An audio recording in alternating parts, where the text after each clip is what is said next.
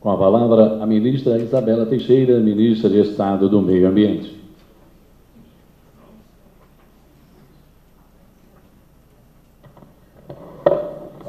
Bom, boa tarde a todos. Eu me sinto tão em casa em Itamaraty que eu vou quebrar o protocolo. Vou falar daqui sem deixar o Figueiredo nem a Vera inquietos.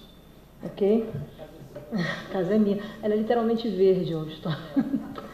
Mas enfim, boa tarde mais uma vez. Eu gostaria de cumprimentar aqui é, os meus amigos, é, a embaixadora Vera Machado, meu querido amigo Luiz Figueiredo, é, em nome de vocês, estender os cumprimentos aos meus demais amigos diplomatas, que sem dúvida de dúvida, eu estava comentando aqui o Figueiredo, uma das principais parcerias que o Ministério do Meio Ambiente tem na esplanada dos ministérios. Não vou te deixar distante, Jorge tá bom? Embora você seja argentino, a gente tem as nossas diferenças, mas está de parabéns. Ah, mas você é um grande amigo, você sabe disso, e eu tenho absoluta certeza que em seu nome eu posso saudar todos os representantes das agências das Nações Unidas aqui presentes e saudar a cooperação estreita que nós temos com várias delas na política ambiental do Brasil. É, eu deixei por último, para cumprimentar meu querido Steiner, que é um brasileiro, alemão, alemão brasileiro, que este ano está aqui no Dia da ONU e ano que vem, no Dia Mundial do Meio Ambiente, também estará no Brasil. Então, acho que você vai trocar o seu passaporte, voltará a ser brasileiro. É, mas seja muito bem-vindo, meu caro amigo, e com muita alegria que eu tenho a chance de estar aqui com você nesse dia, um dia tão importante, não só para o planeta, mas para o Brasil, tendo em vista essa agenda cada vez mais ampla do ponto de vista político, uh, do governo brasileiro e da sociedade brasileira com as Nações Unidas. Aproveito para saudar uh, duas mulheres importantes no sistema da ONU, pelo menos na área de meio ambiente. Não é só a presidente Dilma que abre a Assembleia Geral, somos impossíveis, viu, Stein? Mas a Margarita, que é a nossa regional do PNUMA na América Latina, que está aqui presente, e a Denise Amur, que é a nova representante uh, do Brasil, do PNUMA no Brasil, é, que é funcionária de carreira do governo brasileiro. Então, acho que nós temos que cumprimentar as mulheres, porque é inexorável. Okay? Quero compartilhar com os senhores. Continuaremos deixando todos vocês muito felizes, mas foi a nossa liderança. É claro. Figueiredo primeiro a concordar. mas, olha, eu conheço e quero, em nome do corpo diplomático né, que está presente, é, também usar uma mulher para cumprimentá-lo, a nossa embaixadora da Noruega, a Turi que está sentadinha ali, escondidinha, discreta, e tá, já abriu o um sorriso. E que tem sido também uma grande parceira e representa as parcerias do corpo diplomático aqui no Brasil, em particular aí com a agenda do Ministério do Meio Ambiente, com a agenda ambiental brasileira. Bom, eu é, muito foi dito sobre ONU, sobre a importância deste momento que nós estamos vivendo em relação a Rio mais 20, é, 40 anos depois de 72, eu prefiro pensar nos 40, 40 anos pós 2012, considerando que eu vou ampliar minha expectativa de vida até estar né? pelos indicadores das Nações Unidas. Mas, enfim. Mas eu creio que nós temos um momento absolutamente especial no Brasil, porque há 20 anos atrás ou há 40 anos atrás, esta casa tem todas as referências históricas e estratégicas do que foi a participação e que tem sido a liderança do Brasil no debate sobre um planeta mais justo, um planeta, um mundo mais inclusivo e um mundo que guarde relações é, construtivas entre as políticas públicas nacionais e internacionais. E aquilo que foi dito aqui, onde todos têm uma voz.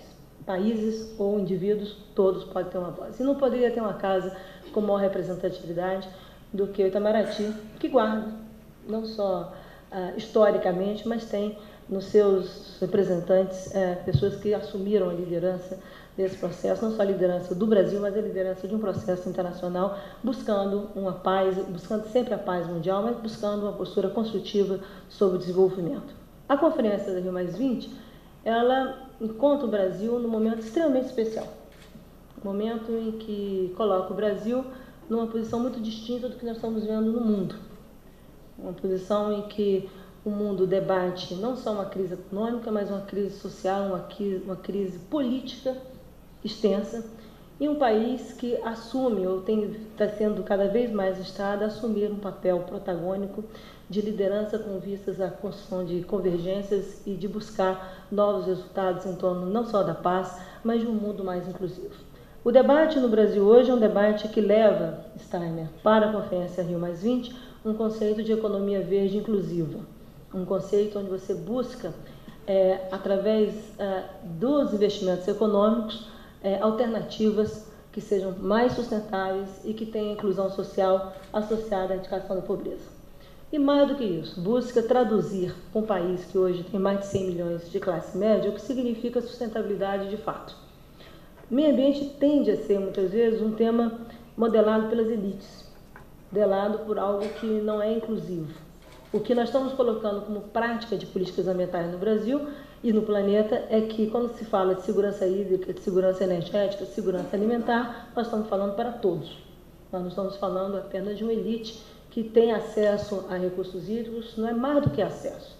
Nós temos que ter acesso equitativo sobre os recursos naturais. E esse é um desafio de um país que ainda se revela desigual quando você viaja pela sua extensão continental. Tem sido um aprendizado para mim, como funcionária de carreira que sou do governo brasileiro, em 28 anos de carreira, é observar um país tão distinto na área ambiental e um país que cada vez mais, para ter resultados, precisa trazer para a base da sustentabilidade ambiental a discussão sobre sustentabilidade econômica e a discussão sobre sustentabilidade é, social. E isso tem sido um caminho que nos últimos anos tem se revelado bastante positivo. Não quero dizer que não temos muito o que fazer. Temos muito o que fazer, temos muito o que avançar, mas os resultados se mostram absolutamente reveladores. É, mesmo naquilo que é mais visível de uma agenda ambiental, como a redução do desmatamento na Amazônia, e eu vou anunciar bons números ainda essa semana, é, o desafio que se coloca é sobre a ocupação de um território que tem uma integração regional na América do Sul. As maiores riquezas do planeta uma integração de território com uma visão estratégica, porque aquele povo que lá vive dizer, só na Amazônia brasileira são mais de 25 milhões de pessoas, em áreas urbanas, esse povo, muitas vezes cercado de água, não tem acesso à água potável, ou não tem acesso à energia elétrica. Então, nós somos um país que discutimos a oportunidade de ter novas tecnologias de planta LED, é, de lâmpada LED, com tecnologias absolutamente fantásticas para ser competitivos, sermos competitivos e gerarmos renda e desenvolvimento, e temos populações que não têm acesso à energia ainda, por causa, não por causa da dificuldade, porque são áreas remotas e as tecnologias não necessariamente estão acessíveis. E muitas dessas populações estão em áreas protegidas, daí a importância de um programa feito Bolsa Verde, em que você junta a erradicação da pobreza com conservação da biodiversidade e geração de renda, para que você possa mudar o patamar de ocupação do território e condições de vida daquela população. Então, quando nós estamos falando desse tipo é, de iniciativa, e que são concretas, são iniciativas absolutamente concretas e que você não espera sentado enquanto governo para que essas pessoas procurem você. O governo vai, o Estado vai atrás dessas pessoas para que eles possam ter chance de serem incluídos e trabalharem numa outra perspectiva econômica.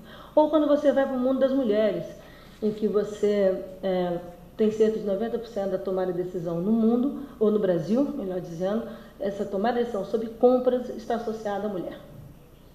E quando você vai discutir a, classe, a nova classe média brasileira com as mulheres, você é, percebe que há quatro, cinco anos atrás elas estavam comprando aqueles lanches industrializados, para colocar na lancheira do seu filho. Hoje elas estão procurando comida saudável para colocar na lancheira do seu filho, porque ela quer a mesma qualidade de vida que nós temos, que nós temos condições de comprar orgânicos ou produtos mais sustentáveis, do ponto de vista da expressão que se usa. Então, isso é absolutamente amplo. No Fórum sobre Valores da Cidadania, que nós estamos debatendo, coordenado pela Secretaria-Geral da Presidência da República, é clara a construção de novos valores para a nova classe média brasileira. E sustentabilidade é um deles. Todos estão demandando que se traduza isso em ações concretas no país, para que, na realidade, as pessoas possam ter o direito de optar por condições de vida ambientalmente mais adequadas, mas condições econômicas mais inclusivas e com condições sociais mais justas. É isso que está na pauta da classe média brasileira, que são respondendo 105 milhões de pessoas, e é isso que está na pauta quando você vai discutir com 16 milhões de pessoas que vivem na extrema pobreza desse país. Eu tenho ido, eu tenho viajado, ficado finais de semana discutindo com essas pessoas, às vezes em lugares remotos no Brasil, para entender que muitas vezes conservar a biodiversidade tem que estar atrelada a uma estratégia urgente de inclusão social e de geração de renda e desenvolvimento. E essa experiência é uma experiência que o Brasil tem buscado consolidar nos últimos 30 anos. Eu sou de uma geração que fugia aqui dos cavalos brancos da ditadura Denise sabe disso. Denise me doutrinava estudando Gorender. Ela fazia isso, entendeu? Materialismo histórico. Olha que horror. Mas, enfim, é, ela é de uma geração de Universidade de Brasília que fugiu dessa história, que viveu contra isso, e uma geração que, na realidade, hoje observa ganhos absolutamente expressivos de um país que consolidou uma democracia, teve, pagou alto por uma estabilidade econômica, o custo social da estabilidade foi muito alto, todos nós sabemos. E o custo da seguridade social está aí, com uma inclusão absolutamente expressiva que não tem referência no mundo. Tamanhos são os ganhos que esse país tem em relação ao que significa dar estabilidade social ou desenvolvimento social a esse país. Do ponto de vista ambiental, os desafios são, como o Figueiredo fez referência, hospedar as novas políticas ambientais nas políticas estruturantes de desenvolvimento. É, não dá para ter uma política ambiental mais de pequena escala. A política ambiental do Brasil tem que ser do tamanho do Brasil. E o país é o G1 em biodiversidade do planeta. O Brasil é um país expressivo nas mudanças climáticas e nas suas negociações. O Brasil é um país expressivo na segurança química, um país expressivo em toda a agenda ambiental do planeta. Tem que ser do tamanho dessa agenda. E tem que ser do tamanho do povo brasileiro. E para isso nós temos que reformular e trabalhar a agenda ambiental diferentemente do que foram os últimos 30 anos. Ela teve um papel é, um papel extremamente relevante do ponto de vista de 72. Lembro aos senhores é, que em 73 o Brasil assume a primeira estrutura institucional de meio ambiente, antes era só recurso natural. É pós-Estocolmo que ganha, se tem esses contornos institucionais no Brasil, e pós-92 em que a questão da sustentabilidade ganha uh, um papel definitivo. É, mas tem que ser, esse papel não pode ser mais realizado em projetos de pequena escala ou projetos demonstrativos. Quando nós conseguimos fazer é, que se tenha produtos da cadeia da sociobiodiversidade, mas esses produtos, para serem definidamente produzidos e gerados para traduzir riqueza, eles precisam de acesso, de infraestrutura, para que eu possa tirar esses produtos e colocar nos chamados mercados dos consumidores, essa discussão é uma discussão de natureza estratégica. É aí que eu supero aquela fase de aquisição de alimentos, por exemplo, de 11 produtos da, sociobiodiversidade pelo programa de aquisição de alimentos e traduzo isso para a merenda escolar e, além disso, eu coloco no mercado brasileiro e no mercado internacional, sabe. Para isso, eu preciso de uma visão estratégica de desenvolvimento e de ocupação do território. Para isso, eu preciso de energia, para isso, eu preciso de infraestrutura e logística, para isso, eu preciso de qualificação de educação, para isso, eu preciso falar de um povo brasileiro mais é, hegemônico, com menos. É, com a menor diferenciação entre as partes. É muito difícil falar do Sul uh, criticando a Amazônia ou vice-versa. É muito difícil falar do Cerrado é, sem entender o que é a fronteira do Pantanal, o que significa a riqueza e a lógica de distribuição de riquezas do país. Então, acho que nós temos, na Conferência da Rio Mais 20, uma excepcional oportunidade de discutirmos os próximos 20 anos, também em relação à governança sustentável, mas à governança ambiental. O Brasil tem uma liderança em relação a isso nós precisamos ter uma reflexão estratégica, uma reflexão é, que não é só da agenda internacional, mas também da agenda de desenvolvimento sustentável desse país. E daí eu reputo, é, talvez uma das principais questões é, que a gente pode ter é, eu estava lendo recentemente o livro, são dois livros, um a memória de um ambientalista do Paulo Nogueira Neto, que conta exatamente esses 30 anos. E a outra, recentemente saiu, talvez um dos títulos mais interessantes é, que eu já vi de livro, que é do Dr. Israel Clabin, que chama Urgência do Presente. O Brasil está discutindo a urgência do presente, nós não estamos discutindo a urgência do futuro. Esse é exatamente Estamos exatamente no presente discutindo quais são os passos que nós precisamos consolidar em torno disso, que significa, de fato, satisfazer as demandas das futuras e das atuais gerações. Quer dizer, esse é um debate, é muito difícil pedir para que as pessoas apostem em algo desconhecido mas é muito fácil você pedir para que as pessoas construam juntos em algo que todo mundo pode acreditar. Esse é o caminho que o Brasil está trilhando. Steiner, acho que esse é um aprendizado que nós podemos sim compartilhar com o planeta, devemos compartilhar. É, não só na Sul-Sul, Eu acho que é, nós temos também muito que aprender com o mundo, tem experiências fantásticas do mundo que nós podemos modelar, é, não só aperfeiçoar o nosso processo, mas a nossa relação regional em particular. Nós compartilhamos biomas, nós compartilhamos é, visões estratégicas, mas não necessariamente geopolíticas, mas não necessariamente está refletido nos espaços é, da questão ambiental. A questão ambiental ela precisa ter esse upgrade, chama-se essa mudança de escala, para que, porque ela é um tema que não restringe, ela é um tema que condiciona e que oferece, no caso do Brasil, uma multiplicidade de alternativas que pouquíssimos países do planeta têm. Exatamente pela diversidade ambiental e pela riqueza ambiental que nós temos, é que eu acredito firmemente que nós temos uma grande, uma excepcional oportunidade, não só do processo de engajamento em relação a Rio Mais 20, está aí refletido. Nós fizemos na Comissão Nacional, essa semana vai ter a primeira fase da comissão concluída, em que nós vamos ter um documento brasileiro, oficial do governo brasileiro, mas que foi construído com a mobilização é, da sociedade, com o setor privado, com o setor financeiro, com os governos, com os governos estaduais. aproveito para saudar aqui o presidente da Associação Brasileira de Entidades do Ambiente, é, que está aqui conosco, é, o doutor Gurgel, Hélio Gurgel. Então, assim, todos estão envolvidos em sugerirem e indicarem questões que são importantes não só para nós, mas para o planeta. Acho que essa possibilidade, que eu achei extremamente bem sucedida, de primeiro fazer com que os, os ministérios conversassem e construíssem juntos.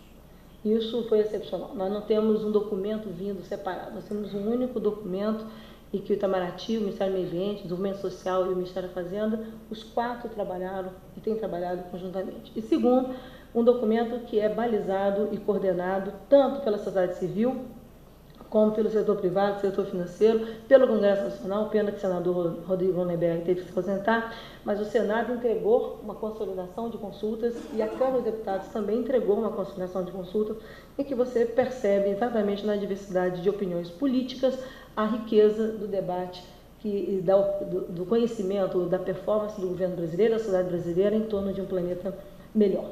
É, isso é o que eu acho que é o espírito que nos junta, que é uma história do espírito do Rio, eu tenho medo de fantasma, tá? Mas enfim, eu confesso isso. É, mas deixamos os fantasmas de lado, mas o espírito do Rio é um espírito que está aí vivo e movendo o planeta. É com ele que eu, como eu disse na, no dia do lançamento da Comissão Nacional a presidenta Dilma, eu disse ao governador Sérgio Cabral que preparasse o feijão preto, a caipirinha que nós estávamos chegando e deixa essa gente broseada e mostrar o seu valor. Então, nós estaremos todos juntos, os diplomatas, os membros, os demais membros do governo, a sociedade brasileira, mostrando que é possível, sim, com as Nações Unidas, destacar o papel do multilateralismo num clima absolutamente inovador, construtivo, que é que o mundo precisa. E é isso que nós vamos atrás. Então, quero saudar o dia da ONU, uma alegria. Acho que é a primeira vez que a ministra do Meio Ambiente fala no dia da ONU. Você vê como o Itamaraty está quase geneticamente modificado. Tá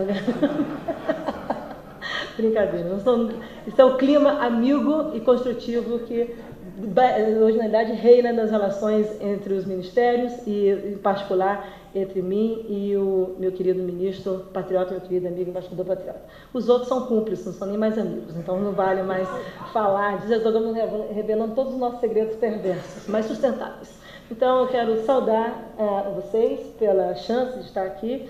Uh, dê um abraço meu, por favor, ao secretário Ban Ki-moon, de quem eu tenho muita honra ter sido convidado para ser membro do painel de sustentabilidade é, e tenho a franca certeza, convicção de que nós teremos, vamos trabalhar muito juntos com bons resultados e tenho certeza que vamos buscar esse novo caminho para o multilateralismo. É através das negociações, por intermédio do convívio e das boas ideias que nós construímos soluções permanentes. O resto é para a gente tomar caipirinha. Tá bom? Muito obrigada a todos e uma boa tarde.